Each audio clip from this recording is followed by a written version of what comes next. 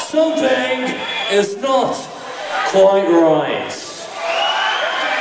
Do people know how to thrash? Eh? See? No?